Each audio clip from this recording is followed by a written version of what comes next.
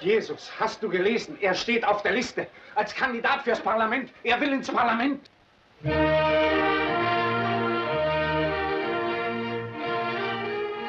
Da sind sie wieder, die beiden Kampfhähne, das berühmte Paar, das in die Filmgeschichte eingegangen ist. Die beiden Helden der kleinen, großen Welt, die sich in gegenseitiger Hassliebe verzehren, doch nicht voneinander loskommen. Diesmal ist der Kampf noch härter. Die Welt soll wissen, dass sich zwischen ihnen nichts geändert hat. Der Gegner muss zur Strecke gebracht werden. Aber immer unter Beachtung der Kampfesregeln. Handgreifliche Argumente werden nur angewandt, wenn es unbedingt nötig ist.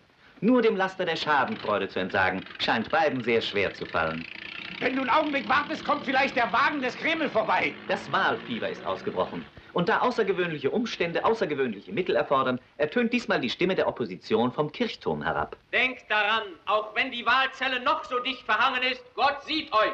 Doch Stalin nicht.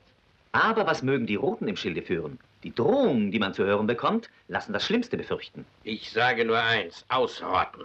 Physische Vernichtung. Aber so leicht scheint sich Don Camillo nicht geschlagen zu geben. Am allerwenigsten scheint er sich vor einer zahlenmäßigen Übermacht zu fürchten. Die große Schlacht des Don Camillo. Kampf auf allen Gebieten. Wir sehen uns wieder bei Filippo. Philippi, Herr Bürgermeister, Philippi. Du verwechselst wieder mal Geschichte mit Geografie. Auf dem Gebiete der Kunst. Auf dem Gebiete der Diplomatie. Wie wär's mit diesem Prachtstück?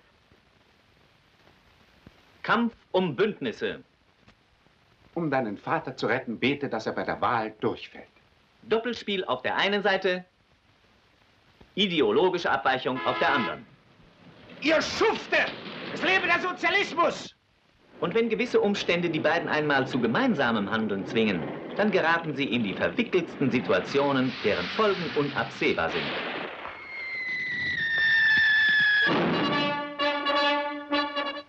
Ich wollte erklären, dass zwischen halb elf und elf, also in der Zeit, in der die Hühner gestohlen wurden, Giuseppe Bottazzi, der Angeklagte, bei mir in der Kirche war. Ihr Priester arbeitet ja nur mit dem Mund.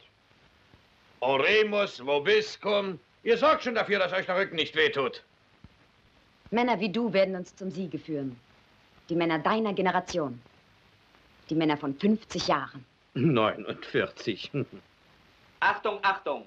Wir geben nun die zweite Namensliste der aufgrund der Stimmenzählung gewählten Abgeordneten bekannt. Front des Friedens, 25. Kreis, Liste 9. Albertoni Marco, Arpogino, Bicci Franco. Wird es Pepone gelingen, Abgeordneter zu werden? Wird es Don Camillo gelingen, das zu verhindern?